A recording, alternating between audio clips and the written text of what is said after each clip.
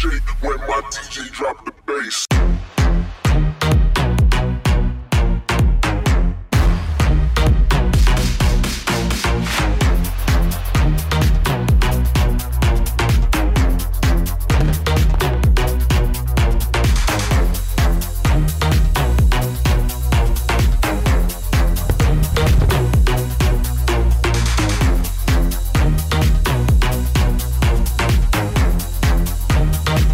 Rock the stage, they don't know my sound.